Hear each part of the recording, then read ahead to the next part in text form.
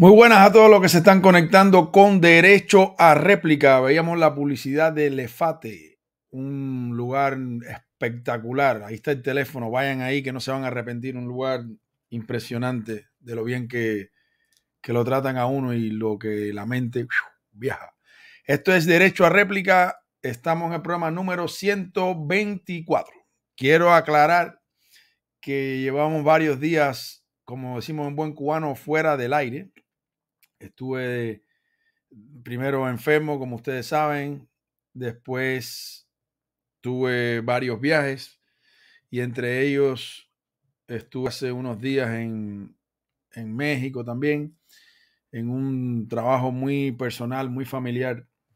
Y después les pondré algunas imágenes. Fui a un museo bellísimo en México, vi unas obras impresionantes de la, del arte universal. Hoy vamos a estar, como ya poníamos en la foto, vamos a estar hablando con la actriz cubana Jessica Perryman. Una actriz eh, muy joven, pero que tiene una carrera ya muy interesante en, el, en la actuación. Ella ha estado en, últimamente así, localizable, tres audiovisuales que son la novela que creo que está terminando, acaba de terminar en Cuba, del Este Hamlet 2, también estuvo en Las Cuatro Estaciones de La Habana, que es esa serie de Netflix protagonizada por Jorge Perugorría, basada en las novelas de Leonardo Padura. Y una de las más notables es su personaje de Marta en la última serie Narcos, Narcos México. Narcos creo que tiene cuatro, cuatro temporadas, dos en Colombia, que cuenta toda la historia de Pablo Escobar y el cartel de Medellín. Y estas que son los Narcos México, que son dos tremendas series, una serie muy popular, una serie inmensa. Y vamos a estar hablando con Jessica Perryman, que es la protagonista de, de una de las historias de Narcos México. Por aquí voy a leer algunos comentarios de ustedes. Bueno, Romy García, buenas noches, Jan, saludos de Cuba. Eh, Norma Elena, Perryman Jones debe ser, yo creo que debe ser, debe ser la, debe ser familia o quizás la madre de, de Jessica, que su nombre artístico es Jessica Perryman, en homenaje a su mamá, pero su nombre completo es Jessica Borroto Perryman. Entonces, por acá, saludo desde Trinidad. Eh, aquí está Ingrid Arenas. Buenas noches, dice. Muchas gracias, Ingrid, por, por estar por acá.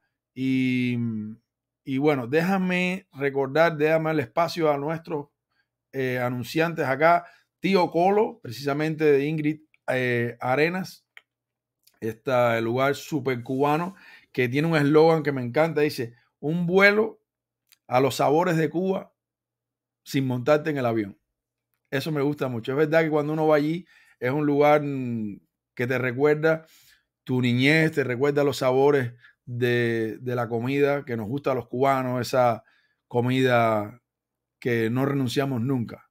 Aunque tengamos muchas opciones, seguimos comiendo a lo cubano. Aquí también están otros datos, diocolo.com y usa ese código welcome y tendrás un 10% de descuento. Está en Hialeah, la ciudad que progresa. Por acá, Alza Insurance de Dianet Fernández, expertos en, en seguros de salud, 832-983-9995, alzainsurance.com. Mira, eso lo aprendí en inglés. alzainsurance.com. That quiere decir punto. Yo hubiera dicho point, com, pero no, es .com. Quiere decir punto .com. Por acá está Ross Wellness Center, como la tienda. Un, un lugar maravilloso en Miami Spring que son especialistas en salud eh, mental. Quiero agradecerle a todos que están por, por acá anunciándose en nuestro espacio. Creo que por acá ya está Jessica en, por aquí. Ya la veo que se está preparando para la entrevista. Y bueno, creo que va a ser una entrevista muy interesante. Creo que vamos a hablar con una joven cubana muy talentosa, una joven cubana que ha mostrado su trabajo al mundo, porque una plataforma tan grande como la Netflix, tiene dos series en Netflix, además que es modelo, cantante, en fin, una todoterreno, un nuevo, un nuevo, me siento, me siento ya un poco mayor al decir esto, pero bueno, un nuevo talento del cine y del audiovisual cubano va a estar aquí con nosotros el día de hoy. Déjame poner por acá este gran equipo de trabajo que tengo por aquí y, y buscar Déjame ver, déjame ver, déjame ver, déjame ver. Aquí está. Por acá tengo todo lo que necesito. Y nos vamos con esta introducción y al regreso estamos hablando en vivo y en directo con Jessica Perryman. Tiene nombre, nombre de alguien que va a triunfar.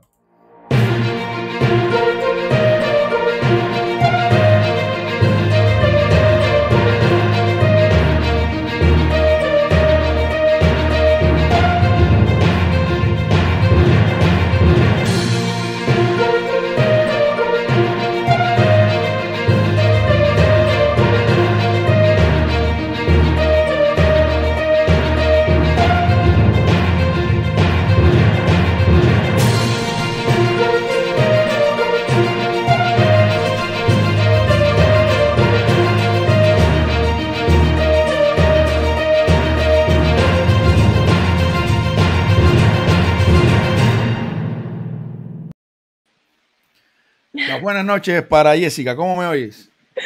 Hola, Ian, ¿todo bien? Buenas noches para ti también, para todos los que están sintonizando, Voy a, vamos a decir que eh, en exclusiva también, que tuve la suerte hace unos días cuando estuve en México de conocerte en persona, de conversar contigo en persona, y íbamos a hacer la entrevista en México, pero al final yo decidí que es mejor hacerla cuando, cuando estuviese aquí porque tengo más velocidad de internet que la que tenía ahí con mi teléfono. Cuéntame cómo, cómo a todo, dónde estás, en qué lugar del mundo estás hoy. Todo está bien. Hoy me encuentro en, en el DF, Ciudad de México. México lindo y querido. Aquí estoy. ¿Y cómo? Eh, ¿Hay volcanes en México? Ah, claro, es una pila. no, porque tú sabes que hay muchos cubanos viajando por el mundo buscando, minando los volcanes. Está bueno eso. Habría que ver cuál tiene más, en Nicaragua o aquí. Vamos a ver. Cuéntame una cosa, Jessica. Em, por cierto, tengo acá, te quería preguntar, déjame ver si lo vuelvo a ver. Déjame ver si la vuelvo. Acá tengo una persona que me saluda. Norma Elena Perryman Jones. Mi mamá. Yo decía, debe ser, porque ese apellido no es muy común. Mi mamá, mi mamá, mi malita, mi mamá linda y querida. Mami, un besote. Está esperando esa entrevista desde wow, desde que lo estamos anunciando. Ok, eh, cuéntame, cuéntame dónde naciste, quiénes fueron tus padres, de dónde viene este apellido, porque además en caso de tu mamá tiene dos apellidos que no son latinos, Perryman y Jones. Uf, bueno, yo soy hija de Norma Elena Perryman Jones y de Lorenzo Borroto Herrera. Mis mm. padres, ingenieros, gente trabajadora, como nada vinculada al arte. Y yo soy su hija. Y los apellidos de mi madre es que mi abuela era jamaicana y mi abuelo de Barbados, entonces tenemos toda esa herencia, esos son los apellidos. Ese es el. Y están súper bien, ¿verdad? Perryman Jones. De hecho, yo contigo ah, me estoy estrenando que este, he decidido cambiar mi nombre. Antes firmaba como Jessica Borroto Perryman o Jessica Borroto y ahora, ¡cachán! Bueno, ahora soy Jessica Perryman. esto es una exclusiva que por primera vez vas a empezar a usar a partir de hoy este nombre como tu nombre artístico, que también me decía que es un homenaje también a la mujer cubana, a, a- a tu madre como, como, como mujer. Exactamente.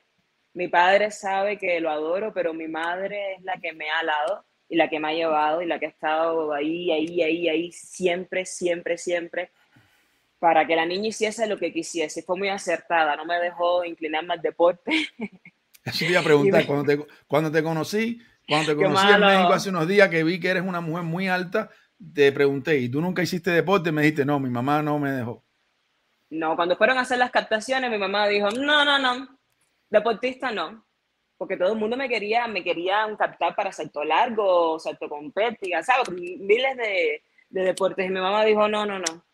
Negrita deportista, no, no, no. Y me puse a estudiar ballet Vale. clásico. Ballet clásico ahí en, en Prado, cuando estaba en Prado. En la, ha sido mi escuela, madre. en la escuela grande esa que hay ahí en Prado. Sí, en la escuela, sí. Ok, cuéntame entonces cuáles fueron tu- tu- tus inicios, en qué barrio naciste, en qué parte de Cuba naciste, cómo fue eso. Uy, qué nervios. ¿Qué te A acuerdas ver. de esa época?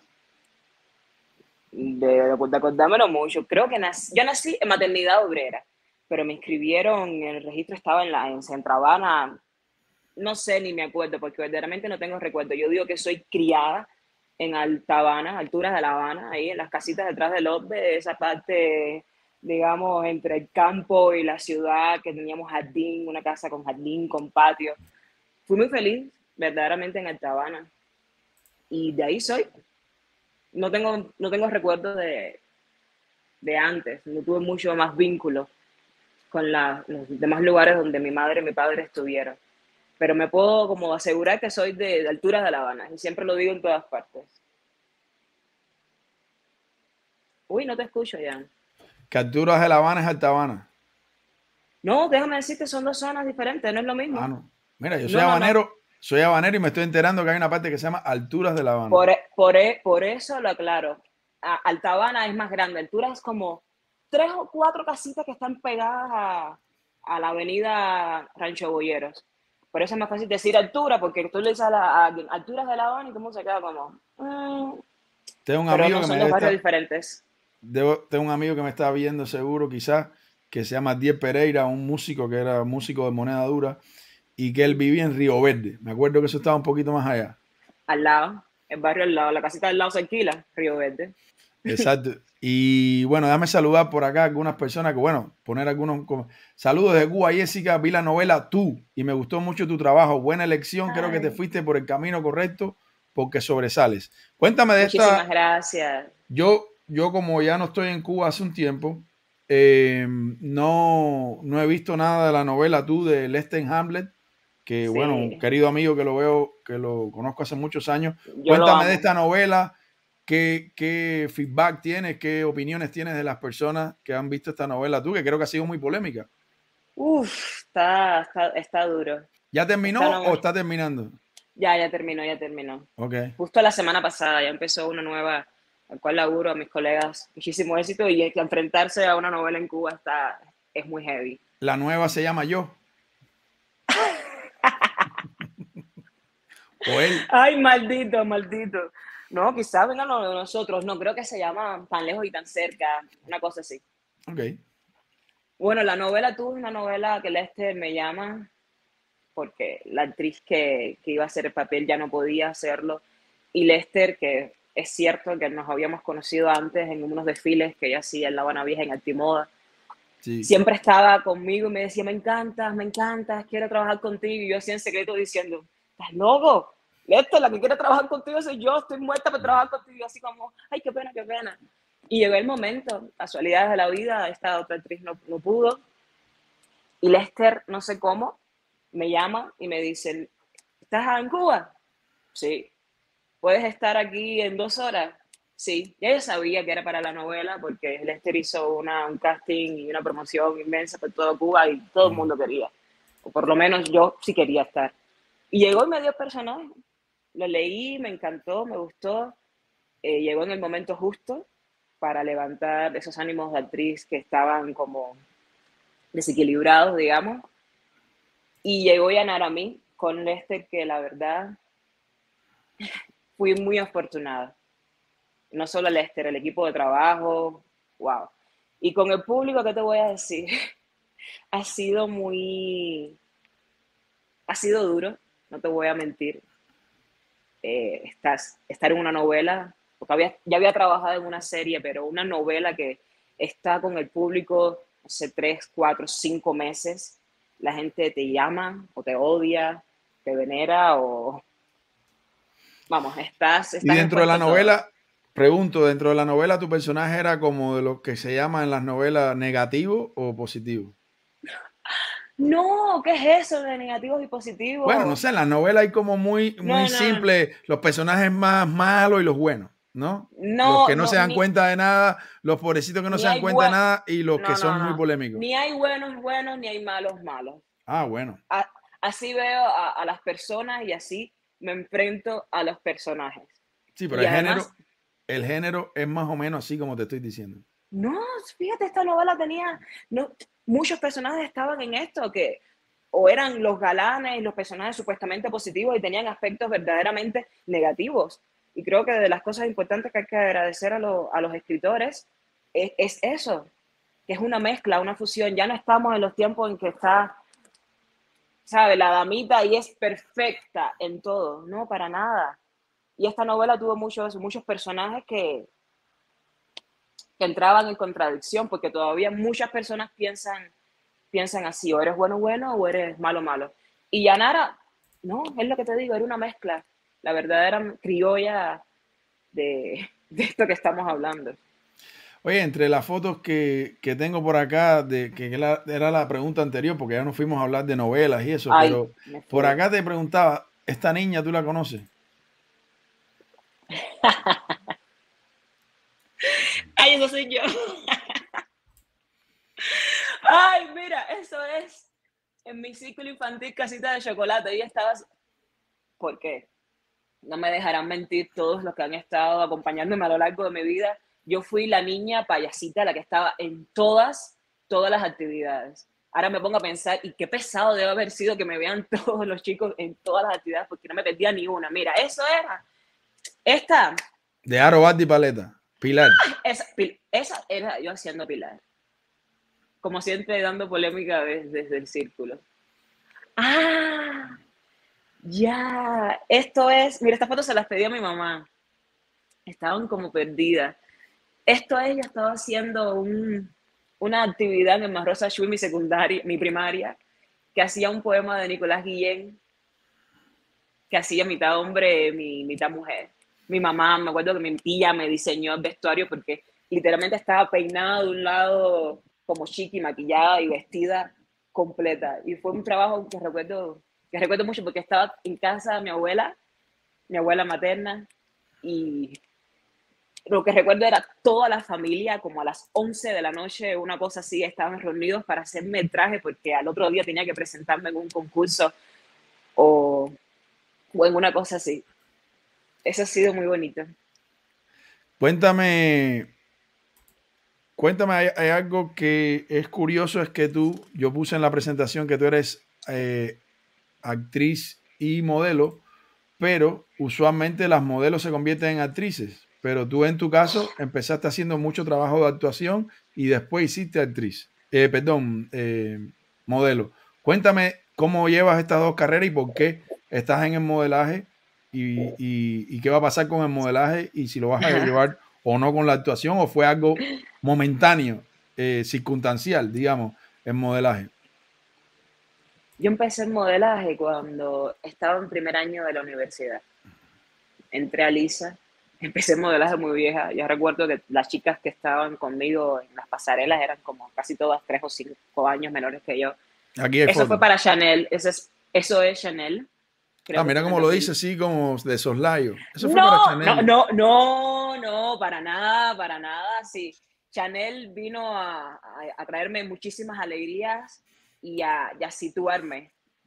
Chanel, Chanel fue la meta. Ya después de Chanel verdaderamente yo dije, ya, ¿qué, qué, qué más?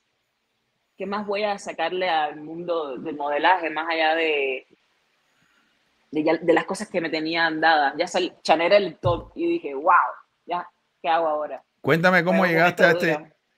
cuéntame cómo llegaste a este casting y además veo el, el Prado como pulido, le, hic- le hicieron pulimento al Prado. Sí, lo pulieron y lo pulieron muy bien, estaba muy bonito, pero solamente el tramito, ¿sabes? No se esforzaron de tirarlo completo, que, que no le iba a costar nada, la verdad, nada más que el pedacito de los invitados. Cuéntame cómo ahí? llegaste, cómo llegaste a este casting, qué significó para ti. Uf. Yo, ay, le voy a decir en, en voz alta, siempre lo Sí. había dicho y me lo habían escrito.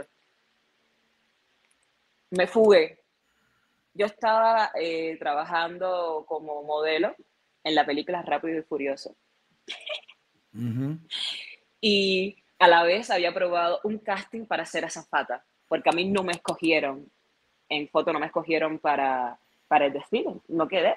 Era algo extraño, lloré, recuerdo que lloraba mucho porque decía, como no me escogen, siento que tengo las posibilidades, eh, ni siquiera me dejaron caminar, no me dejaron, me vieron en una foto X, sabrá Dios qué foto habrán mandado y me sentía como muy derrotada porque ya tenía un camino eh, marcado en la moda en Cuba con ya varias marcas, ¿sabes? Ya estaba como con- conocida, ni siquiera me dejaron hacer el casting.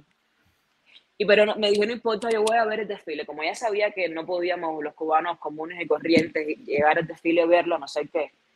Vamos, las terrazas las alquilaron y fue toda una locura, sí, no se podía ir. Mi mamá no me, no me pudo ir a ver. ¿Cómo? Sí, sí. Sí, Cuenta, cuéntame eso, cuéntame eso. Sí, eso es una cosa que, que- que a mí me dolió mucho. Podían haber puesto una sesión, no sé, tres gradas para hasta que se llenase el pueblo pudiese ir a verlo, pero no fue así. Cerraron el desfile solamente para los invitados, que también es lógico, lo hacen en todas partes del mundo, no sé, bueno. Pero me hubiese gustado que, que, lo viesen los demás, que fuese algo abierto, ya que lo hiciste en un espacio público que no sé quién cogió las regalías por eso. Pues entonces, si es para el pueblo, para que seamos para todos. Bueno, el caso es que no sabía cómo llegar al desfile y me presenté al casting de azafata. Azafata era la persona que le iba a dar la bienvenida, depende de donde te pusiesen a darle la bienvenida en el, en el aeropuerto o en el hotel, pero como yo soy así de chistosa y carismática, Oh, qué Y- modesta. no, porque de verdad me, me gané, me gané, me gané el casting. Yo lo digo, a mí por fotos no. Llévame, mira mi energía, mírame, convencemos. ¿No te gusta lo que te estoy proponiendo? Vamos también en la actuación. Vamos por otro camino, pero por una foto. O por, ¿sabes? Soy de las personas, soy más de, de carne. De tú, para ti, yo te miro, tú me miras, y que fluyan energías y fluyan cosas. Me gané el casting y me gané el casting de azafato y me pusieron en el mejor lugar donde se podía estar, que era en el Teatro Martí. Una cosa preciosa, no había entrado después de, de la reparación. Sí. Y ahí es donde, donde hacían la conferencia de prensa y la prueba de vestuario. Y nada, me pusieron ahí, yo caminando, taca, taca, taca, me vio el asistente de CAR, eh, la productora en ese momento, la directora de, de la marca, porque no, no era Karl Lagerfeld solamente, y me dijeron, ¿quieres modelar? Y yo dije, ¿cómo? Sí, que si quieres modelar, vamos a ver si la ropa te sirve. ¿Cómo la ropa no me va a servir? La ropa me quedaba hasta ancha. Y ya, hice la prueba, me puse muy, muy, muy nerviosa y me dijeron, pues sí, estás bien. Al otro día hice el desfile y callán, la vida me cambió. Chévere, qué buena, qué buen cuento ese. Mira, por acá tengo a Corso que dice saludos de Matanza. Yo compartí con ella en una hora, me imagino que se llama El Portazo. El Portazo es mi grupo de teatro. Oh, ok. Es uno de los grupos, sí, el Portazo por Pedro Franco. Uf.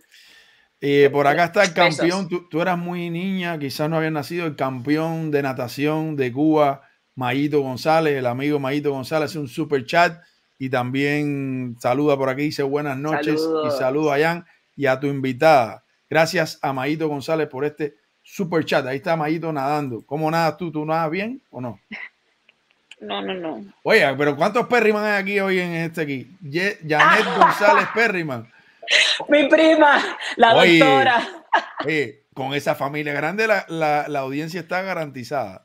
Lo que te decía Eh, mi apellido era por eso. Mi familia materna siempre, siempre está ahí, ha estado ahí para todo, para todo lo que he necesitado. Siempre, siempre. Besitos, Yané. Dice, dice tu mamá, payasita no, yo siempre decía que quien no te conoce te ha oído mentar. Em, por acá, eh, Mayito, Mayito de, de, de Licay, amigo de muchos años, dice, hermano, llegué a tiempo, un abrazo. Mayito siempre llega tarde. Muchas gracias por estar por acá, Mayito. Mucha gente, a lo mejor, bueno, no sé si has trabajado con la gente de Licay, pero mucha gente Sí. por acá, el patriota dice, Jan y a todos en el chat, saludos desde el istmo panameño. Oh, Wow. Un cubano en Panamá, a no ser que viva ahí. Oh, ese cubano está subiendo. Ese cubano está subiendo. Eh, dice Alida Pané, que es miembro de nuestro canal, yo no conocía a esta joven, gracias por darnos la oportunidad de conocerla. Gracias, Jan. La última que voy a leer por ahora dice, saludos Ari Morales, saludos Jessica desde Jalapa, Veracruz, del grupo Sazón de Cuba, que participó con ella en la serie. ¡Wow! ¡Wow! ¡Ay, qué sorpresa! Saludos, saludos, lo máximo, lo máximo. Recuerdo que fue mi primer día de rodaje, estaba con este grupo maravilloso que me habían preguntado qué canción querías que queríamos que quería que tocase en la serie. Yo por supuesto dije una canción de Bam Bam y mandé para mandé de- desde Cuba para México dije La Sandunguera y llegué al, al set y estaban todos esos músicos preparados con una versión, un ritmo y una sabrosura divina. La pasé genial, genial con ellos, me ayudaron muchísimo porque eh, estaba nerviosa a la hora de cantar y bla, bla, bla. Y gracias, gracias, saludos a todos. Eh, quiero, ahora que me estás hablando de Chanel y eso, y estamos hablando de hacer casting y, y de todo ese tema, ahora vamos a hablar también de cómo llegaste a la serie Narcos, de las cuatro estaciones en La Habana. Tengo una sorpresa para ti. ¿De qué? A ver, ¿de qué vamos a hablar? Me vas a dar una sorpresa. Te voy a dar una sorpresa. Mira este video. Eh, buenas, ¿cómo están todos? Un saludo a ti, Jan, que te quiero mucho. Somos amigos de hace muchos años y me encanta tu trabajo. Lo que hace con las personas que tú entrevistas me gusta mucho. Eh, de Jessica Borroto te puedo decir tantas cosas. Jessica, además que la quiero, eh, es muy simpática, es una gente que te, te da alegría y además, y además de ser muy buena actriz, buena bailarina y muy buena cantante. Hemos trabajado mucho juntas, hicimos lo de Rápido y Furioso, una de las cosas que se hizo, y eh, en eso también Chanel, de Chanel también lo hizo conmigo. Bueno, hemos trabajado en tantas cosas juntas, eh, es perfecta. Yo la quiero, la quiero, la quiero muchísimo. Es un ser humano increíble y muy, muy divertida. Qué bueno que me dijiste que te mandara este videito para ustedes. Te quiero, Jan. Un beso. Mua, mua, mua. Ay, Livia, Livia, Livia. Mira, la verdad, de las personas que tengo que agradecer en mi carrera, una de esas es Livia Batista. Una de esas es Livia Batista. Recuerdo que llegué a hacer una película, un casting de un director que me fue a ver una obra de teatro en Cuba y me dijo, ven a hacer el casting para mi próxima película y fue en, fue en casa de Livia. Llegué, me quedé con el personaje, que aunque después no lo hice, pero me quedé con el personaje. Livia desde ese momento no ha parado de, estar ahí, de, confiar en mí, de, impulsar mi carrera, de, apostar por mí. Y siempre lo digo, lo digo delante de todo, yo soy una sortuda. Gracias, Livia, gracias, gracias.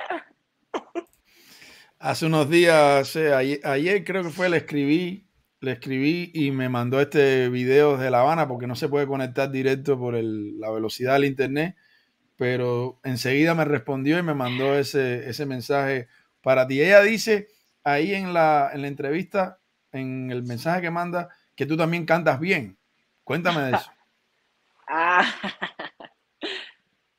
Lidia, mira, déjame decirte que en una película eh, Giovanni, Giovanni Veronesi, si no me deja, si mi nombre, si no se me, si me falla la memoria, que fue con Livia, sí. Livia me hizo componer una canción porque el director le encantó mi voz en, un, en el casting que hicimos y Livia me dijo, ella sí puede hacer la canción. Y me hizo componer una canción junto con, con un amigo guitarrista y tuve, compuse mi primera canción, la canté en la película de Giovanni Veronesi, que es un director italiano, que es la bomba, y sí, canto, canto. Eso, mira, ese es el grupo de, de los chicos de Veracruz. Esa es la serie Narcos. Qué interesante, ¿no? Sí. ¿Y, y, y puedes cantar? Coño, ya no me va a hacer eso. ¿Pero canta o no canta? Claro que canto. Ay, pero qué pena que canto. Dime tú. No sé, esta tristeza te lleva al olvido como la niña. Yo no sé cantar, yo sí no sé cantar. ¿Tú no sabes cantar? Uy. No, estoy, soy, ese día no, ese día no repartieron nada para mí. Ese día no, no, no llega hasta la cola. No, no agarré nada. Bueno, después piénsalo. Después a ver, piensa a ver qué puedes cantar. Por favor, no, no. Si cantas de verdad, por favor, déjanos ver, escuchar tu, tu voz. Hay algo que me llamó la atención. En, bueno, aquí tengo fotos a tuyas modelando. Ah, sí. Eh, estas creo que también son como modelando. Esta foto que es la portada de, de nuestro espacio del día de hoy. Y esta también que me pareció muy buena foto. Y sí. Esto está como cuando escribas tu libro, de, tu biografía. En la Lo vida. que se pone del autor, trágala. Exacto. O no, o la portada del libro. La portada del libro, esta está para la portada del libro. Ay, Em, los amigos fotógrafos que he tenido que siempre me han hecho muy buenas fotos, la verdad. Por La aquí tienes fotos cubanos. actuando. Sí, eso es, eso es una obra, eh, a ver cómo decirlo. La obra es de Junior García, pero la tuvimos que estrenar con otro nombre que se llama No ¿Cómo puedo, es tengo ensayo, o una cosa así. Sí, ese fue mi primer golpe con la censura. No ¿Pero en nos censuraron, pero ¿En qué fue año fue esto? ¿Cómo que en qué año? Eso fue ahora en noviembre. Ah, esta foto es de hace tan poquito. Sí, eso es el Teatro Portazo. La última obra no puedo tener ensayo, pero su obra, si, no lo, si lo buscas así, no lo encontrarás del texto. Se llama verdaderamente Todos los hombres son iguales. Y es un personaje que al fin logré estrenar, porque estuvimos preparándolo desde antes de la pandemia, durante la pandemia, y en noviembre, después de mucho, mucho, mucho pesar, logramos estrenarla y con un grupo de actores jóvenes que, vamos, soy muy, soy muy afortunada de haber estado en el grupo. Y, de Y hacer me dices que obra. tuvieron, tuvieron que cambiarle el nombre porque era Junior García Aguilera. Sí. Después de los sucesos del 27 y del 11, no, la obra, el nombre de Junior sabes que está vetado. Y por problemas que todos sabemos, no se pudo. De hecho, le Mm. estrenamos creo que la obra el, a finales de noviembre. Qué interesante, pensé que era más antigua la foto, como es en blanco y negro. no. me- Ese es Farándula, que se llama un fotógrafo que radica en Matanza, que hace las fotos al grupo El Portazo. Excelente fotógrafo. Qué pena no mostrar mejores fotos, porque yo tengo muy malas fotos de él, ¿verdad? Aquí hay esta foto que es un look totalmente distinto. ¿A qué pertenece esta foto? uy, esa es una película con Livia. Mira, vaya. Livia fue la, la que estaba ahí para mí. Se llama Sound of Freedom. La rodamos en Colombia con Jim Caviezel, que es el protagonista, y el director se llama Alejandro Monteverde, unos mexicanos que, que radican en Los Ángeles hace muchos años y tienen, han estudiado y tienen este estilo, digamos, ameri, americanófilo. Y va sobre la trata de niños, algo que choca mucho, mucho, mucho en Colombia, Venezuela, Haití. Uf, y está muy, muy heavy la película. Esta es una antagonista, es la antagonista de la, de la película y está basada en hechos reales. La chica existió, creo que se llama Karen Giselle o Giselle. El nombre lo tuvimos que camuflajear, ahora no recuerdo muy bien, porque la película es del 2000, la rodamos en el 2018, 2019, aún no se ha estrenado, esperamos que este año se logre estrenar, si Dios quiere, o cualquier cosa quiere, y podamos, podamos ver, porque verdaderamente el mensaje está, está duro. Hay algo que me llama la atención de esta foto que tiene que ver también con una entrevista que tú diste, eh, que yo me leí para prepararme para esta entrevista. Donde tú decías que has luchado, en un tiempo de tu vida luchaste contra los estereotipos de, de, de mujer de raza negra, que si el pelo liso, que si el pelo, tu pelo afro. ¿Cómo has llegado a este look que ahora tienes, que ya es con tu pelo natural, con, con cómo, cómo, ha- cómo has evolucionado, cómo ha cambiado tu percepción de este tema y, y- y en la mujer que eres hoy? Mira, ya. Yo estudié en la Escuela Nacional de Arte, donde era. La gente me escucha decirlo y dicen, ay, no es para tanto. A mí sí me marcó. Era verdad, era la única negra de, del aula y por un tiempo de la escuela. Y me afectaba. Cuando empecé a estudiarme, a, a encontrarme yo para después entregarme a los personajes, me di cuenta que era un tema que, que, que me afectaba muchísimo. En aquel entonces yo usaba, me, me metía lo que fuese en la cabeza, porque empecé con el derril, la mulatica, y tú sabes cómo es la cosa, se acabó el derril, la mulatica, y terminé, tuve que ir, pasé por no sé cuántos derrices, hasta terminar en el derril potaza. Me hice el derril potaza, el pelo se me achicharró, me tuve que poner implante, por una obra de teatro en segundo año de la Escuela Nacional de Arte con Daniel Lana, que era mi profesor, fue demasiado estrés, se me cayó el pelo, y tuve que ponerme un implante y, me, y yo me sentía fatal, no me sentía que era, que era yo. Y con toda esta búsqueda de quién soy, me di cuenta de que no tenía que empezar a imitar lo que era, tenía que sobresalir por, por, por- por mí, no tenía que parecerme a nadie, porque me sentía todo el tiempo que me sentía presionada con parecerme. Tengo que parecerme a las que se sacan las cejas porque se ven mejor, las que van por un camino porque es el correcto, se planchan el pelo porque así son más eh, Competitivo. que- aceptadas, aceptadas, no, todo va por el, el hecho de ser aceptada sociedad. Sí, mira, cuando yo me solté esto, esto fue en el 2012, recuerdo porque me presenté a la graduación de la ENA y dije, momento de romper. Me había quitado el derribo una semana antes, el implante una semana antes y dije, es hora. Rompo la escuela, rompo vida nueva y me, y me, me enfoco en, en, en- seguir en la búsqueda y en voy a mí. Mira, nada más, yo nada más que tenía de referencia a Jan Micalay. Jan Micalay es una músico que tocó mucho tiempo con Interactivo y con David Blanco, que tocaba percusión, y yo la veía y decía, mira, así, así, así, así quiero ser con mis pelos sin tener que quemarme ni pasar por un proceso tan dolo- doloroso como es quemarte el pelo con un derriz potasa. Eso, vamos, es un dolor que nada más que aguantan. Bueno, mira, mira, mi mamá lo aguanta porque quiere. Mira que le he dicho, déjate tu pelo, pero bueno. Son otras, son otras personas, son otras, son otras maneras de entender. Bueno, me solté el pelo y estuvo duro, ¿eh? En la calle había muy pocas personas con este pelo. Recuerda que todo el mundo me gritaba. Ahora yo salgo y nadie me dice, pero yo recuerdo que todo el mundo me gritaba. Me decían cosas feas. La directora de la escuela, mi propia familia por parte de padre que usan el pelo lacio, que los quiero mucho también, pero era como, uy, no, no, no, plánchate el pelo. Hazte el de ri, qué feo, qué feo, qué feo, qué feo, qué feo. Y fue algo duro. Los hombres también. Y gracias al modelaje, que es una de las grandes cosas que tengo que agradecerle, empecé a creer más en mí con el look, porque sufría. Y el modelaje era como, ah, mira, eres la, la exótica. Empecé a coger prácticamente todos los trabajos porque era la, la diferente.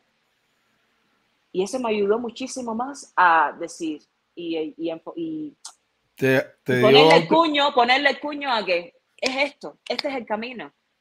Sé tú, sé tú misma, con tus ideas, con tus pensamientos, con tu look, con la manera en que quieras enfrentarte. Y todo eso es, mira, esta che que tú ves aquí, como le digo yo.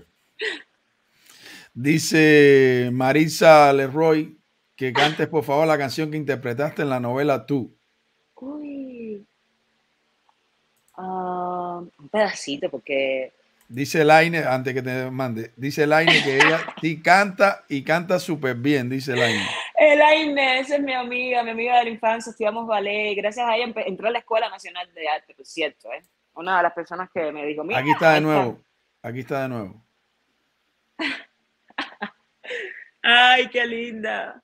Sí, ella, me- ella es de las que me vio que estaba en todas, en todas las actividades, de las que la alaba y nos alábamos mutuamente. Ay, la canción de la novela. Es la de Vania, pero ahora mismo se me fue de la punta. Tengo la punta en la de la lengua. Disculpen, yo soy disléxica y tengo una memoria fatal, fatal, fatal, fatal. Ay, ¿tú te, la- tú te recuerdas? Alguien que me la recuerde, por favor. ¿Cómo Alguien que le mande la letra si se acuerda de.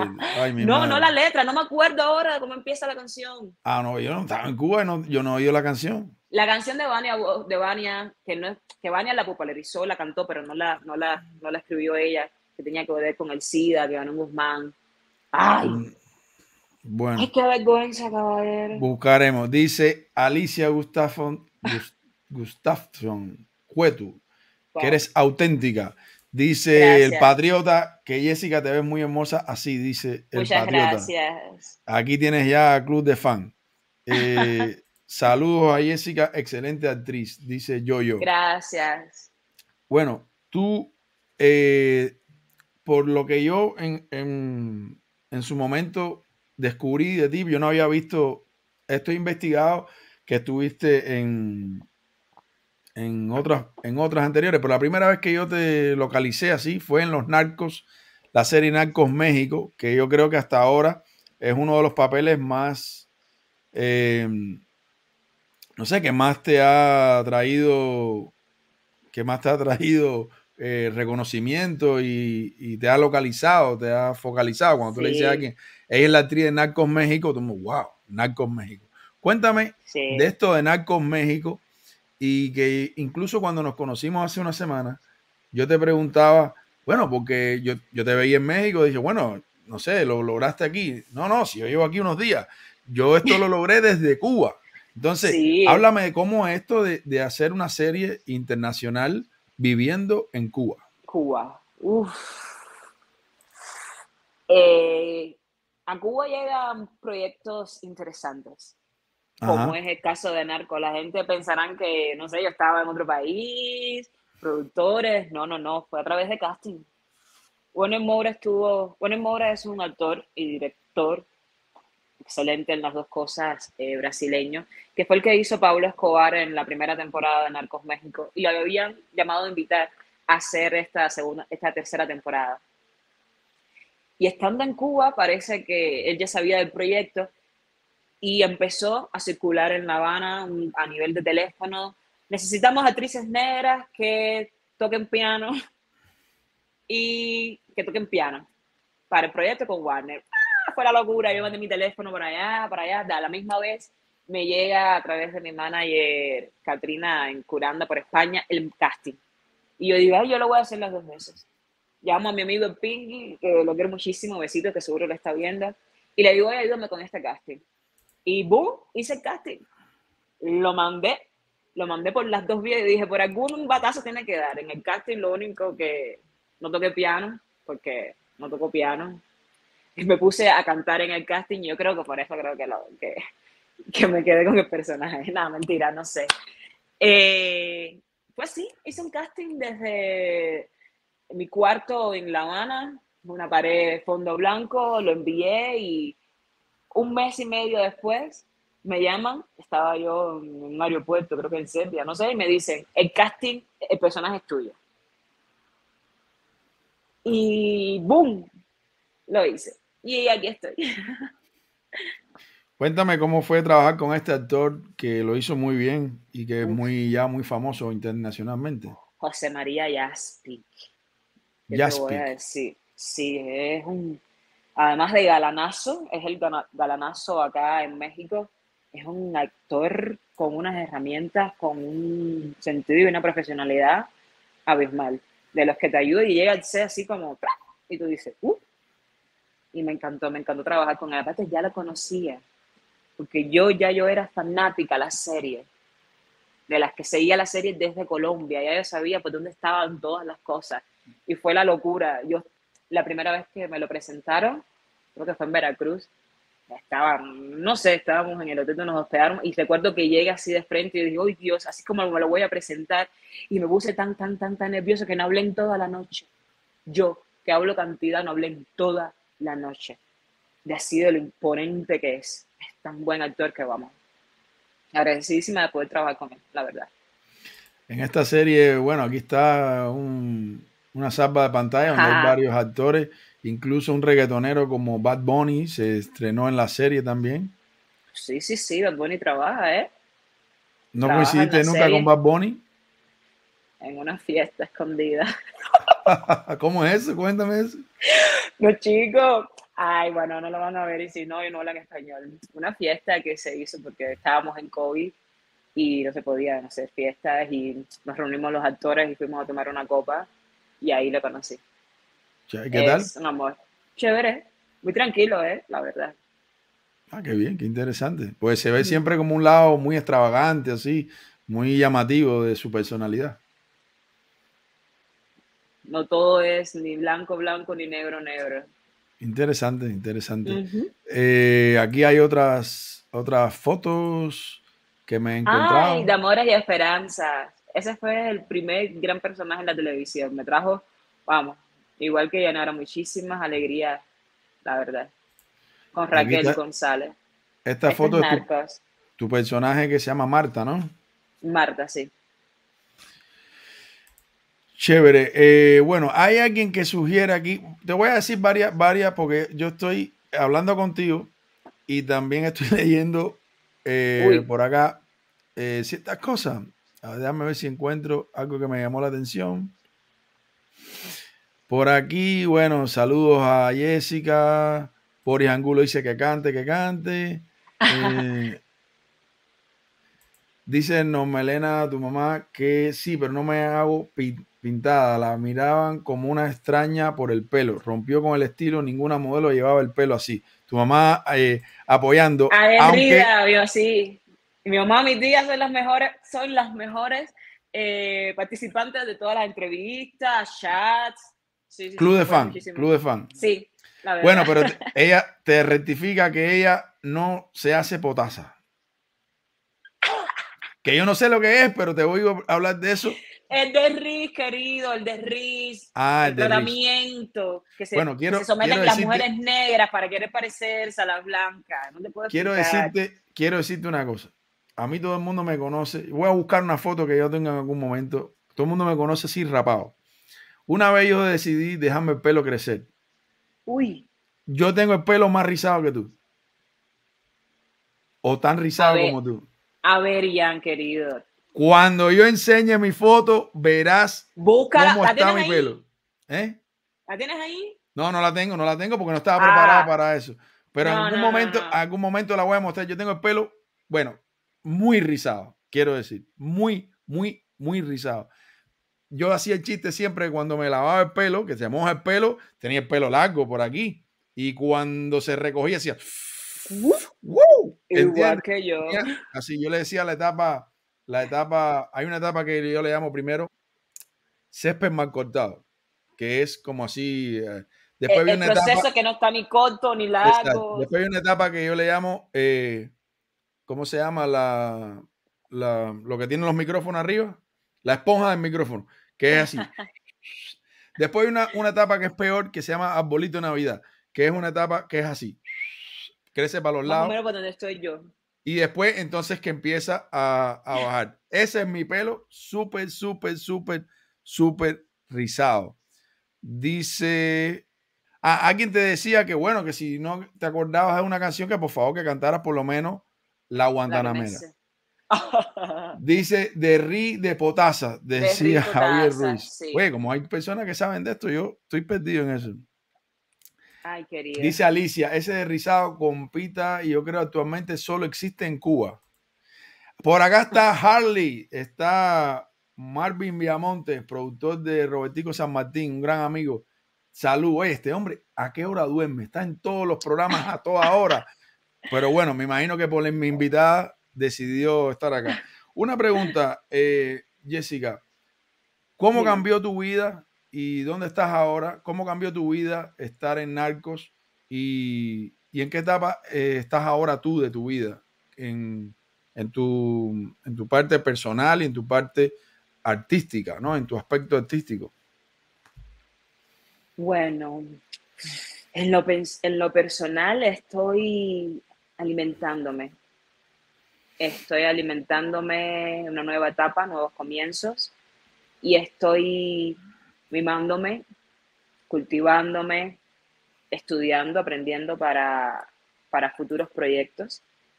Y aquí entramos en la parte, en la parte laboral porque yo tengo que estar bien emocionalmente para enfrentarme a los proyectos. Y entonces, en la parte de los proyectos, después de, de esta serie, me ha posicionado más a, la vista. ¿Sabe? Ya saben que hay una actriz con estas características. Y vamos viendo. Hay dos o tres proyectos entre manos. Vamos a ver cuál se da. Uy, perdón, pierdo, pierdo la voz rapidísimo. Vamos a ver cuál se da primero. Estoy muy, muy alegre con eso. Entre ellos hay una película cubana, a ver si se nos acaba de dar ya, que sería como mi primer protagónico en el cine cubano. Y a esa le tengo muchísima fe. Y otros proyectos que todavía no, no se han cerrado, pero pronto, pronto, pronto, pronto, pronto. Esperemos que sí. Y eso. Yo lo, lo que quería era con el trabajo era eso, estar presente, que es más importante, estar presente y que me, que me noten. Y que trabajo habla, ya me trabajo. Cuando hablas de nuevos comienzos, ¿a qué te refieres específicamente?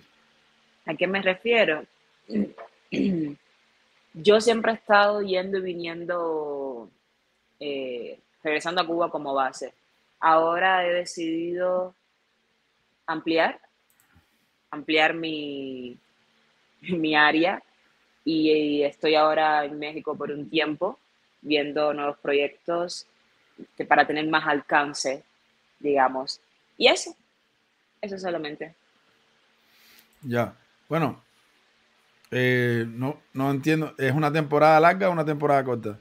Eh, dice... No sé, tú sabes que puede estar aquí mañana en Canarias. Claro. Pasado en Colombia. Sí, sí, sí, sí, yo sé, yo sé, yo sé. Cuando me Eh, llamen voy. Dice, ¿vas para Canarias por fin? Vamos a ver, estamos en eso. Ya, bueno. Estoy ahí, ahí. Dice GC Yaurdinu.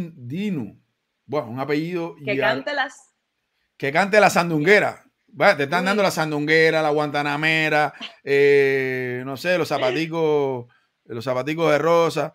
Eh, Franco Franco dice: Hola, Jan, un abrazo, besos para Jessica, le deseo mucha salud. Gracias. Dice Harley que lo mandaron de la familia Pérez para vigilarme y asegurarme que no te olvides del superchat prometido. La familia Pérez es el programa de Robertico San Martín y Alicia, su esposa. Sí. Bueno, te siguen diciendo que cante la sandunguera, ya lo puse, que venga a Panamá, dice el patriota. Mm, Eh, y un, un usuario de Facebook que no tengo aquí quién es, dice que eres una joven muy inteligente. Una Gracias. pregunta. Tú que hace unos días realmente viniste a, en esta nueva etapa que me estás contando, viniste a México. ¿Cómo dejaste La Habana? ¿Qué se respira en La Habana? ¿Cuáles son tus sensaciones al viajar desde La Habana? Ay, chico.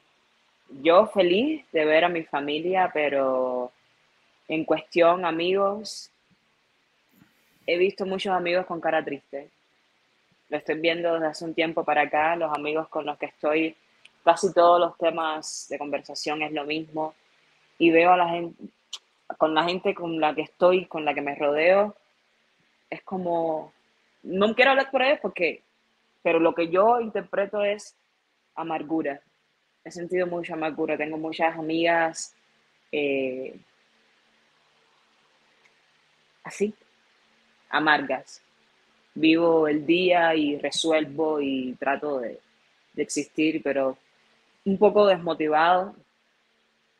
Sentí también un poco de desmotivación y es lo que hay. La mayoría yendo como hace para, para subsistir y para para ver otra cosa. Es- Muchas personas pensando- ver otras cosas. Muchas personas pensando en ver los volcanes.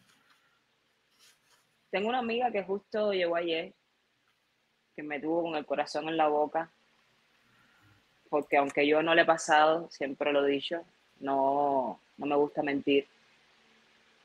Yo no he pasado el trabajo ese de me falta un plato de comida, o he pasado mucho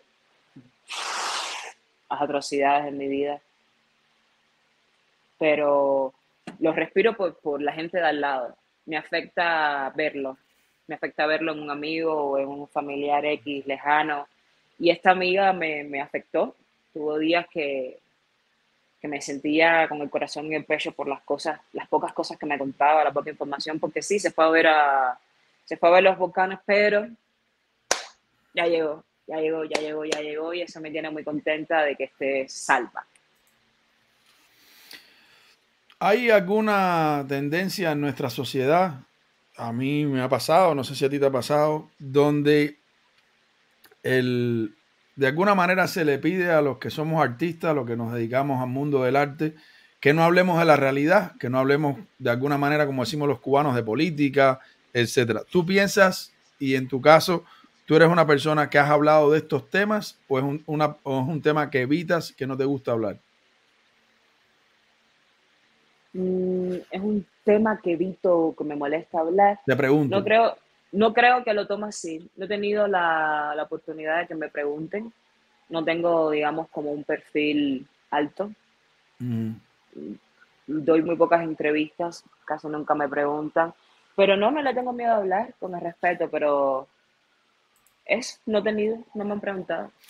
Bueno, yo te pregunto porque hay personas que no les gusta hablar de este tema. A mí me parece muy importante en muchos casos que cuando uno tiene un- una exposición mediática como cubano, etcétera, pueda dar su opinión, sea cual sea, pueda dar su opinión y pueda decir lo que piensa eh, públicamente, porque hay muchas personas que sí lo escuchan. Ahora a lo- mejor hay, eh, después que vean esta entrevista, 5 mil, 10 mil personas, que más o menos puede ser Ah. hasta 20 mil personas que pueden ver esta entrevista. Y quizás más, nunca se sabe. Nunca se sabe quién ve la entrevista, ¿no? Sí. Eh, yo te quería preguntar, ¿cómo tú ves la... Tú me... me uni- atando cabos, ¿no? Tú acabas de regresar de Cuba, o sea, de venir de Cuba en esta nueva etapa. No sabía que habías hecho esta obra eh, y que me imagino que de alguna manera conoces o personalmente o, o el trabajo de Junior García Aguilera. También me Conozco imagino a que... Junior. ¿Eh? Conozco a Junior. Soy actriz del último corto de Junior. Oh, ok. Pero lo conozco cerca. estás, estás como empapada de ese tema. Claro, por supuesto. Y te quería preguntar, este programa surgió a partir de, de los sucesos que hubo frente al Ministerio de Cultura, cuando el 27 de noviembre y después 27 de enero, que fue cuando empezó este programa, se dieron esos sucesos. ¿Cómo tú los viviste? ¿Qué opinión te merece a ti este, esta, esta nueva manera de algunos jóvenes cubanos de decir lo que piensan y de decir que no están de acuerdo con ciertas cosas de la realidad cubana? Yo estaba en México. Yo estaba grabando la serie cuando el 27N. Me llené de orgullo porque tenía muchos amigos que estaban ahí y me estaban contando, hasta que se contaron las comunicaciones, lo que se está viviendo. Y te voy a sentir la verdad. Me sentí orgullosa de que después de muchísimos años nos enfrentáramos, un grupo de jóvenes, bueno, ojalá hubiese estado ahí, pero me lo tomo como que yo también estuve ahí porque lo apoyo. A enfrentarse a lo que estaba sucediendo y a tener la oportunidad de hablar. Yo soy de los que se, de las que cree que esto debería ser un todos y para bien de todos. Pero de verdad, donde sí existan las disímiles opiniones, no todos podemos pensar igual, porque yo no pienso igual con mi madre. Vamos a empezar con el núcleo más cercano. Si yo no pienso igual que mi madre, que mi padre, yo no puedo seguir con sus mismas ideas. Entonces no me no difiero con eso. Me gusta que hayan ideas, que tengamos la oportunidad de decir las cosas cuando no están bien y es lo que debe hacerse. Y entre todo, confluir con los que sí, con los que no, con los que tal vez, con los que se caen. Eso es lo que creo. En tu 27. caso, en tu caso, ¿qué cambiarías y qué dejarías como está de la vida y de la sociedad cubana? En mi caso, Sí, en tu opinión, tú, ¿qué cambiarías y qué dejarías como está? uf, a Cuba le falta, Cuba tiene que cambiar mucho. Cuba tiene que cambiar mucho. Ya, ya estamos empezando. Ya hemos empezado por cambiar cosas, cambiar ya desde enfrentarte a tus padres y decirle, yo no pienso igual. y no me, no me voy a comportar, ni me voy a engañar, ni te voy a engañar, sobre todo respeto a los padres, en decirte una cosa que, que no soy. Pienso que estamos por un buen camino, un camino de verdadera democracia, que, que se escuchen todos, hay por cambiar. Ya yo siento verdaderamente y creo que soy, soy positiva, creo creer lo que soy, que ya empezamos a cambiar. Ya empezamos con una base. Ya empezamos con algo de que, que se ha generado después del 27 y del 11, que es el hecho de opinar diferentes. Yo tengo amigos en todas las esferas con pensamientos distintos en todos y yo soy de las que le digo, perfecto, eso es lo que yo quiero, que confluyamos, que sigamos siendo amigos y que, que podamos hablarlo todo y llegar a mejor acuerdo. Y quiero ser optimista y creo que ya hemos empezado a cambiar. Vamos a ver que se pueda. Ahí entra mi parte negativa. No creo que lo vea yo, no creo que lo vea mi generación, creo que son una generación o dos generaciones más abajo los que verdaderamente harán el, harán el cambio. Bueno, también, también yo veo que hay mucha gente que evidentemente no cree en que lo va a ver y lo que ha decidido es irse de Cuba. No sé, no puedo hablar por la gente, pero también está duro. Yo pienso en todas las personas que no tienen la oportunidad de ir y regresar y que nada más que tienen una oportunidad y esa oportunidad deciden hacerla fuera de Cuba porque no quieren esperar ni que se les gaste que se les gaste su vida en eso. Eso es decisión personal de, de cada cual. Dice Ángel María Morel, Ángel Mario Morel, perdón, que dice que Cuba duele. El otro día entrevisté, a, Eso sí, duele. entrevisté a un escritor, Amir Valle, uno de los escritores cubanos mm, más importantes de su generación, y él decía una frase interesante, decía, yo no habito Cuba, Cuba habita en mí. ¿Qué te parece esa frase de referencia cuando uno está afuera y, y sigue con su cubanía, ¿no? ¿Cómo que sigue con su cubanía? Sí, hay, muchos, hay, hay, otros emigrantes que tratan de adaptarse más y, y renuncian un poco a su cultura anterior. Pero sí, perfecto, pero sabes, renuncias porque, un ejemplo, tengo amigos mexicanos que tienen que adaptarse a cambiar el lenguaje y el lenguaje y el acento y las costumbres y la manera de gesticular, pero sabes que en el fondo sigue siendo cubano.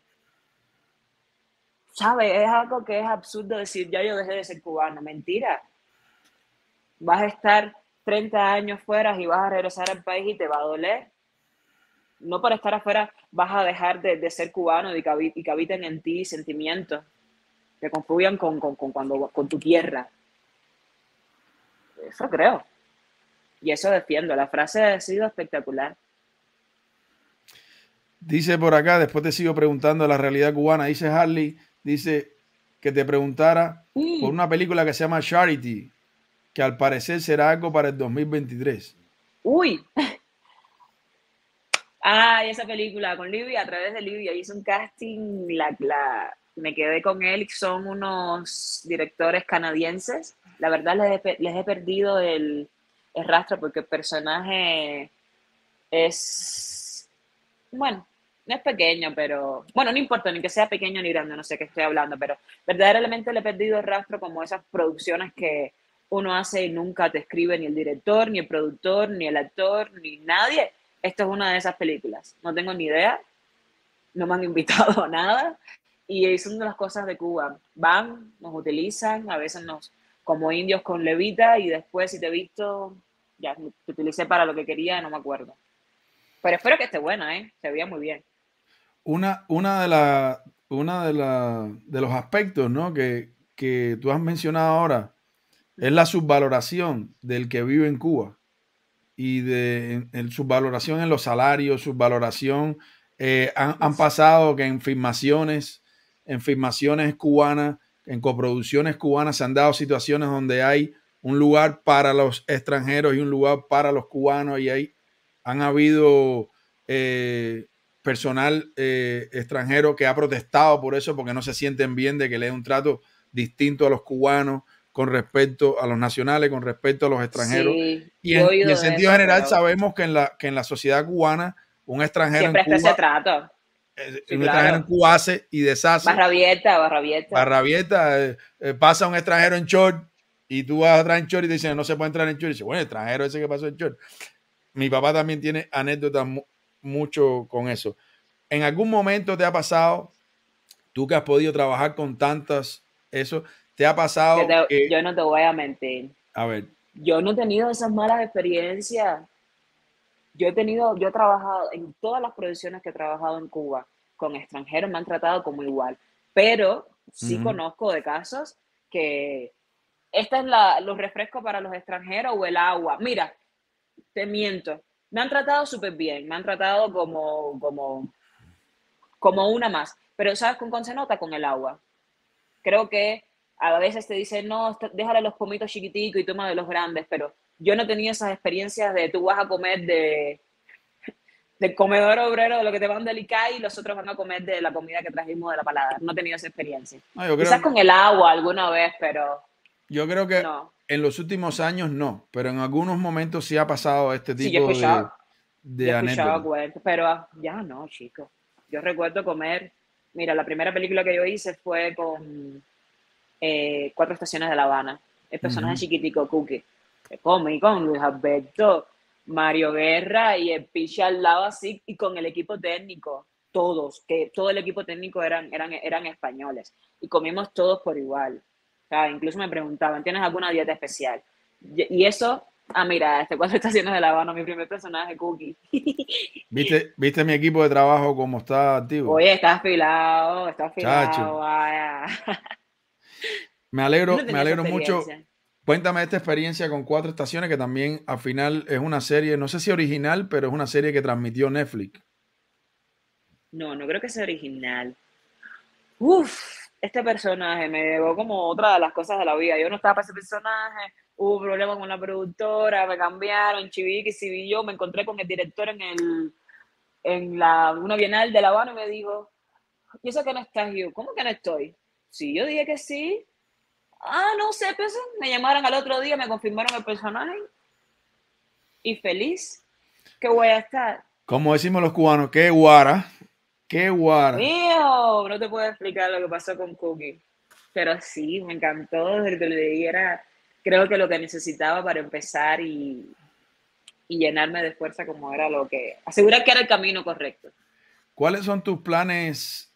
Eh, sin, yo sé que todo lo que hace una persona en casting, etcétera, no lo puede mencionar, pero así, los próximos seis meses, ¿cómo te los imaginas? ¿Cómo serán tus próximos seis meses aproximadamente? Ni idea. Ni idea, no tienes así ya, voy a firmar tal cosa, voy a hacer tal cosa, no tienes así nada. Tengo... No, no. Tengo una película en Cuba que estamos esperando que nos dé la de Lester Hamlet.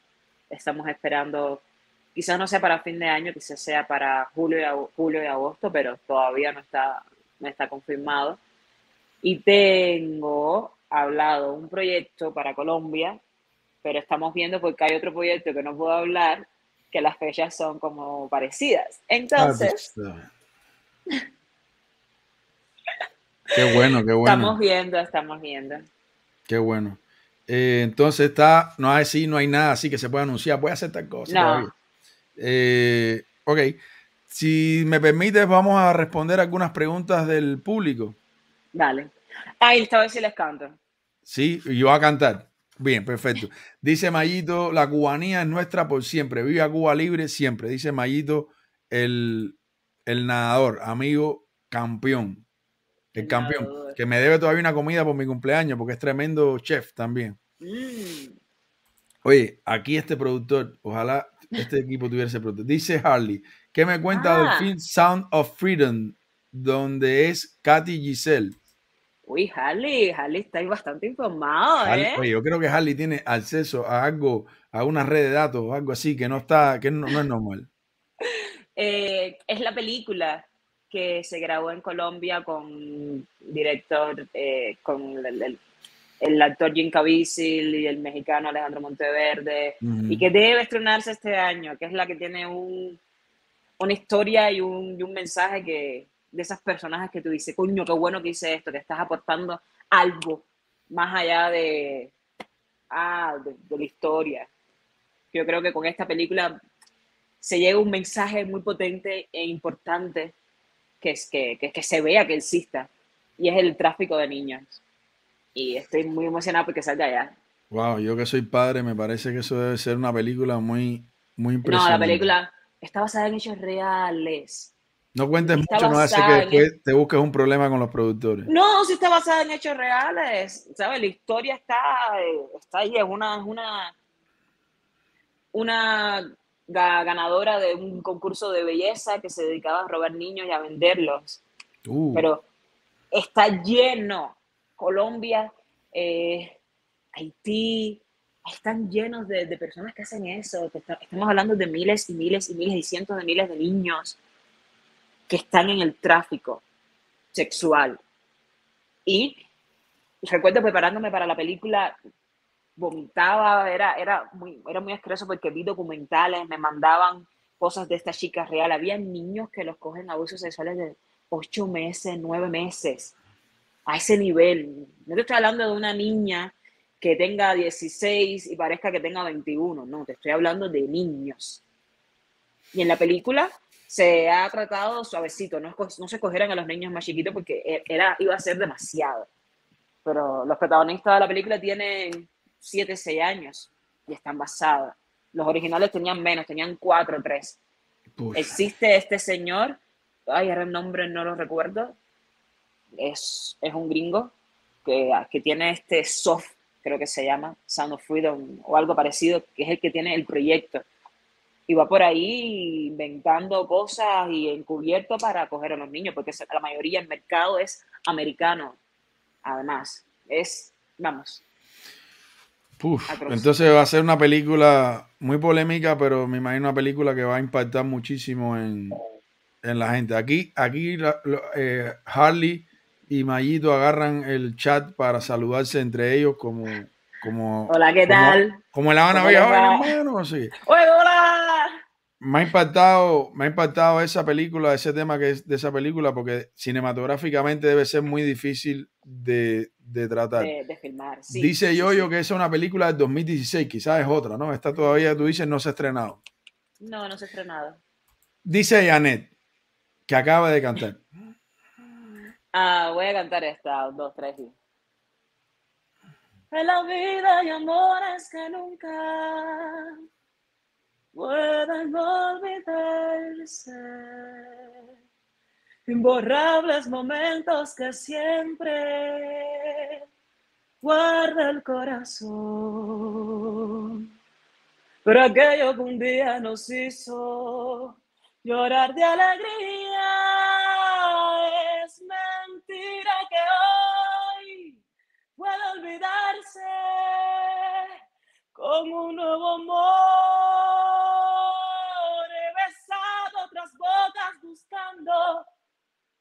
Nuevas ansiedades y otros brazos extraños me estrechan llenos de emoción, pero solo consiguen hacerme recordar los tuyos que inolvidablemente vivirán en mí. ¡Ay, qué suena!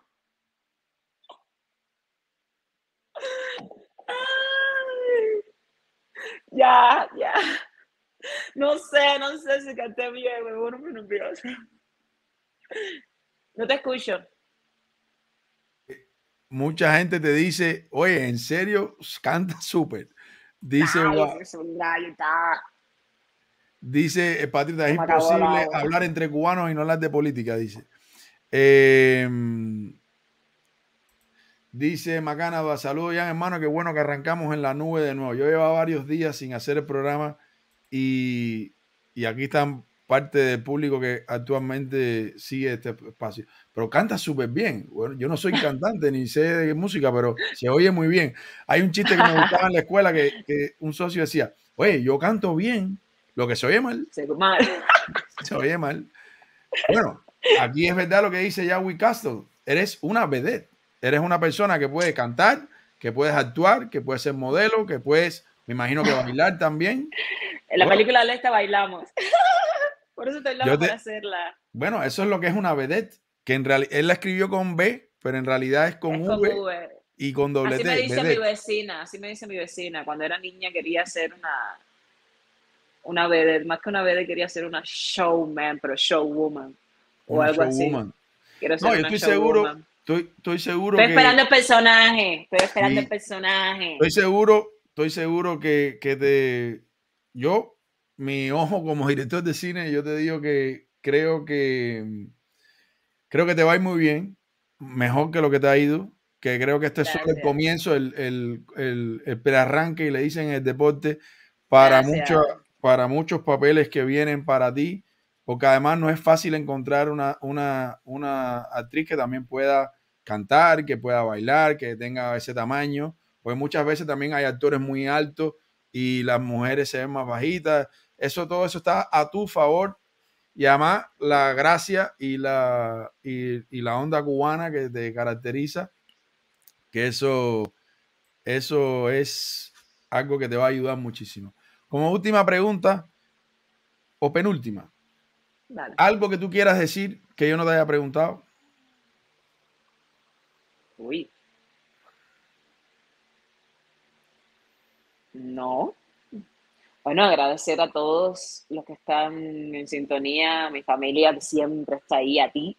Gracias por traerme a que me conozcan un poquito más, que yo sé que me cuesta mucho trabajo enfrentarme a las redes. Y gracias por sacarme de esta zona de confort. Gracias a, también a mis seguidores, que hay que agradecerles que siempre están ahí. Y eso. Bueno, eh, tenemos la exclusiva de que a partir de hoy vas a firmar siempre como Jessica Jessica Perryman. Perryman. Deja que se lo diga a mi manager, no- a mi manager, no se lo he dicho, pero ah, ya, ya se resolverán. Eh, bueno, de todas maneras siempre, siempre te puedes poner Borroto Perryman o Perryman, si hace falta uno, pero Perryman suena muy bien para una, para una actriz, Jessica Perryman, suena Jessica muy, Perryman. Sí. Jessica Perryman. Yeah. ¿De dónde es? From Cuba. From Cuba. And the Oscar goes to Jessica Perryman. Why not? Eh, ¿Y cómo está el inglés? Ahí va, ahí va, ahí va. No me vas a sonrojarme, chico, no me vas a sonrojarme. Bueno, trabaja duro en el inglés, que te vienen cosas en inglés también, seguro. sí. Mi última, mi última pregunta. Eh, bueno, dice Yolanda, buenas noches para esa super cubana, dice Yolanda González Valdés. Hola, Yolanda, Mm. saludos. En la última novela, eso lo hablamos, eh, todo el mundo estaba. Ah, sí, sí, es que fue muy controversial la novela, la verdad. Ya. El público no entendía muchas cosas. Lester fue, fue un poco más allá y puso a una chica con mis características con tres hombres blancos atrás y cachán, la cajita de Pandora salió. No, no puedo opinar, eh, no puedo opinar porque no, no lo he visto.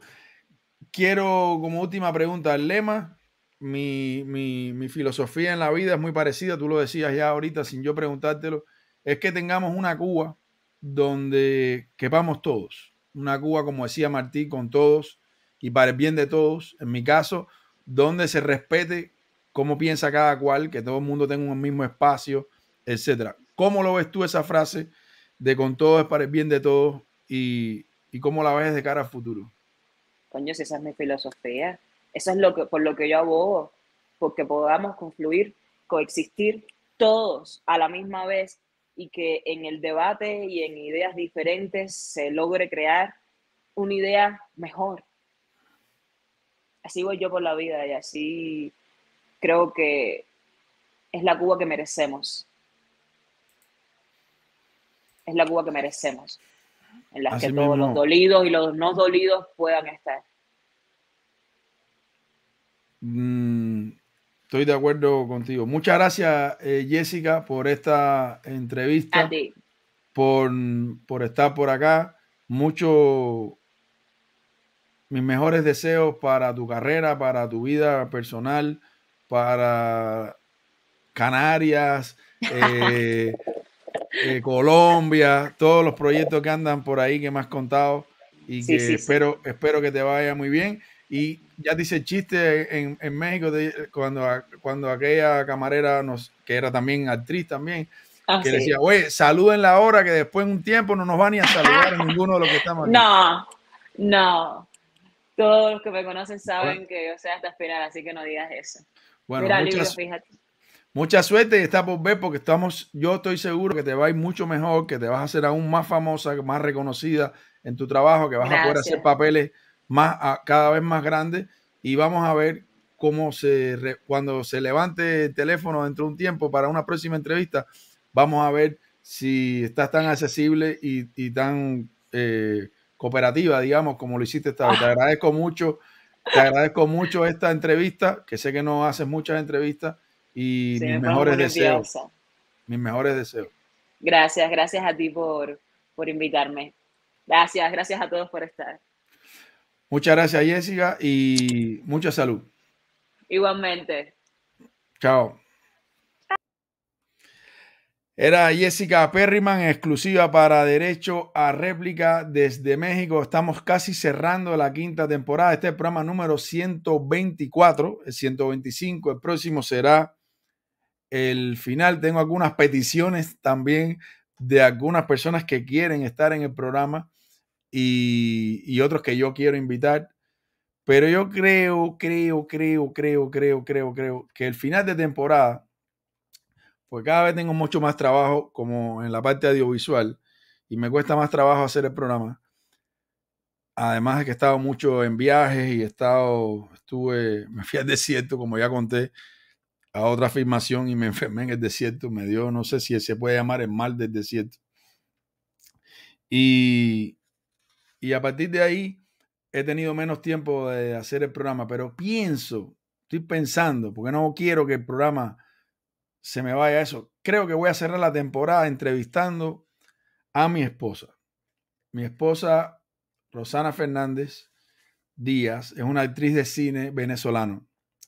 Yo estoy hace rato pensando en entrevistar a personas, artistas sobre todo, que no sean cubanos. Yo creo que en, todas las sociedades, más o menos, y en la venezolana más, que es una, una Venezuela también convulsa y con muchas situaciones sociales, siempre he querido diversificar también un poco este espacio de entrevista que es derecho a réplica con eh, personas que no sean cubanas. Entonces creo, creo, muy posible, vamos a ver si ella acepta, voy a hacer el cierre de temporada posiblemente con mi esposa, que es la actriz cubana, eh, perdón, la actriz venezolana eh, Rosana eh, Fernández Díaz, aunque ya está, ya van a ver que tiene muchas palabras cubanizadas también. Ahí dice Harley, que es uno de los que más ha estado insistiendo en esa posibilidad, dice finally, finalmente.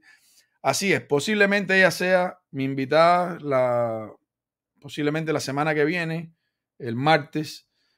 Como no voy a hacer ningún programa antes, le deseo a todas las madres, no sé si al final es un, un, un día que se celebra en, celebra solo en Estados Unidos o es un día internacional, pero el Día de las Madres. O sea, a todas las madres cubanas, en especial a la mía, a mi suegra también, a todas las madres cubanas, a la madre de Jessica que estuvo aquí en la entrevista indirectamente, a todas las madres cubanas, a todas las madres del mundo, que sin ellas no estaríamos aquí. Les deseo un feliz Día de las Madres, que será, creo que cae 8 de mayo. Hoy es jueves, sí, 6, 7, 8, sí. 8 de mayo es el Día de las Madres, por lo menos en Estados Unidos, no sé si es internacional o no. Y nada, les agradezco muchísimo, les agradezco muchísimo a todos ustedes que están por acá, a todos los que por favor denle like a la directa, compartan la directa y a tutti las mamis, a todas las mamis, en italiano creo que es. Se ve que aquí hay cultura, dice un, un, chiste de humoris causa. Dice Harley que sí, que es un día internacional. Bravo, Jan, prepárense bien, que ahí sí no se puede fallar. Así mismo es. Bueno, muchas gracias a Jessica, que todavía nos está escuchando en, en backstage. Muchas gracias a todos ustedes por, por la preferencia, por estar acá con nosotros. Siempre que podamos, haremos derecho a réplica. A mí me parece que es un espacio que hemos logrado donde ya pues casi son 125, 124 números de programa, pero hemos hecho más, porque hay algunos que no tienen números. Y yo creo que algo hemos logrado con luces y sombras, con aciertos y desaciertos, pero hemos logrado demostrarle, aparte de la sociedad o a la parte de los cubanos intransigentes del mundo, a personas que no quieren escuchar otra opinión, que sí podemos hablar entre cubanos, que podemos debatir entre cubanos, que podemos escucharnos entre cubanos sin eh, dar golpes en la mesa, sin, sin tener que, que ofender a nadie. Y a mí me parece que eso es importante porque es un pequeño grano de arena en esa Cuba futura que yo creo que tendremos en algún momento, donde podremos hablar desde cualquier posición, desde cualquier manera de ver la vida y decirnos las verdades, pero de manera lo más elegante posible, de la manera más honesta posible y de la manera más elevada posible. Quiero Voy a leer algunos. Gracias, Jan, por todo. Dice Javier Ruiz.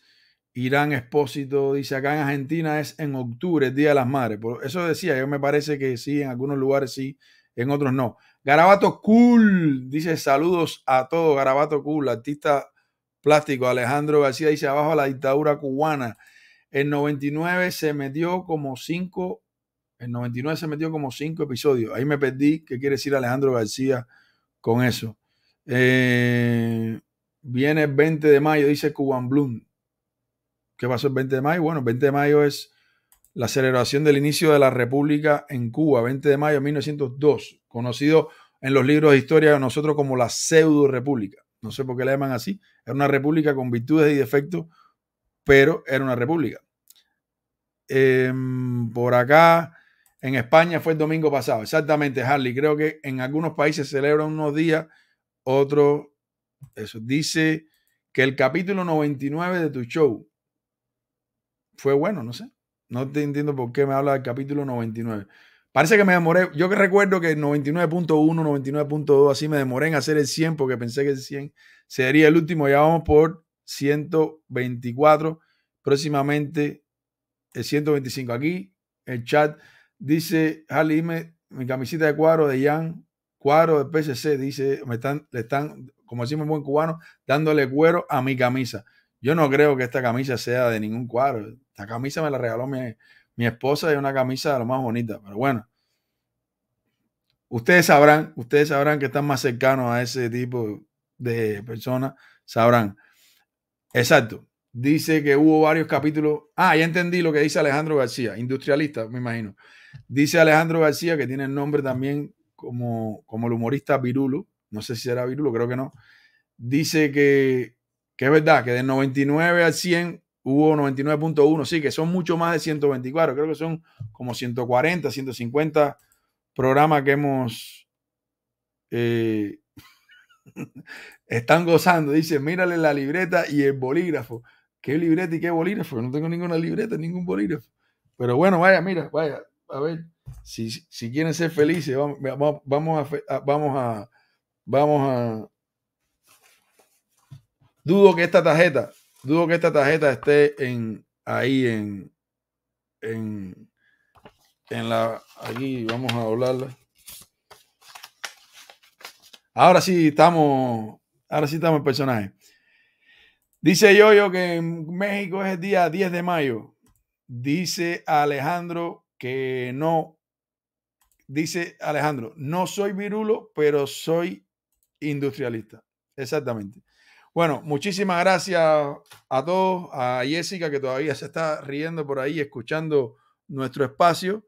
Derecho a réplica, voy a leer aquí. Macana Audaz se ríe. Eh, Gloria García, miembro de nuestro canal, muy buena entrevista. Éxito para esta talentosa actriz. Y claro que tienes que traer a tu esposa. Te lo estamos pidiendo hace mucho, exactamente. A petición del público, eh, dice Macana Dudas un chiste acá. Em, dice Irán que somos lo máximo. Muchas gracias a, Irán. mm, este chiste no me gustó, pero bueno, te lo pongo. Dice Cuba Blue que me falta el Rolex. No, yo no uso reloj. Hace cinco, más, hace como seis años que no uso reloj. Para mí el reloj no existe. Un día tengo un reloj por acá, míralo aquí. Esto está aquí hace, ¡puf! Este es un reloj, que el único reloj que yo tengo, lo tengo hace cinco años y no lo uso. Eso para mí no existe. Me lo pongo y no ni lo miro porque ya todo el tiempo uno está, está en el teléfono. Familia, no los demoro más, que sé que llevan prisa. Les agradezco mucho a, a todos, especialmente a Jessica, nuestra invitada, a todos los que nos ven desde, desde Cuba, a Livia, que nos hizo este mensaje tan bonito, tan... Aunque los que conocen a Livia saben que Livia podía haber mandado un mensaje mucho más Livia. Este fue un mensaje moderado de Livia. Y se lo agradezco mucho a ella y a mi invitada de hoy, Jessica, por aquí, a ver si mi equipo me permite. Déjame mencionar. Uy, es verdad que todavía 140 programas y todavía no soy youtuber. Por acá, tío Colo, 855-846-2656. Ir a Cuba, a los sabores de Cuba, sin bajarse, sin montarse en el avión. Aquí están lo, la página web tiocolo.com. El otro día estaba en un lugar y la gente no sabía. Y me empezaron a hablar de Tío Colo y yo decía, wow, Tío Colo. Se anuncia aquí en nuestro espacio derecho a réplica. Por acá, Alza Insurance, 832-983-9995. Seguro de salud a tu medida. Por acá, Ross Wellness Center, que es, son especialistas en salud mental. Ross como la tienda ahí en Miami Springs. Y bueno, a ver si mi equipo de trabajo, este gran equipo de trabajo que tengo acá, me permite. Por aquí estamos. Creo que aquí, aquí estamos. Familia, muchas gracias. Muy buenas noches. Nos vemos próximamente. Ojalá mi esposa Rosana acepte esta entrevista. No sé cómo la vamos a hacer. No sé si hay en un cuarto y yo en el otro. O se sentará aquí al lado mío. Será algo eh, o la diré, vete hasta otro lugar y la hacemos de otro lugar. No sé. Vamos a ver cómo será esa entrevista si ella acepta. Gracias, Jessica. Mucha salud, muchos éxitos a ti y a, y a tu trabajo. Saludos a todos y viva Cuba Libre. Hasta la vista, compañero.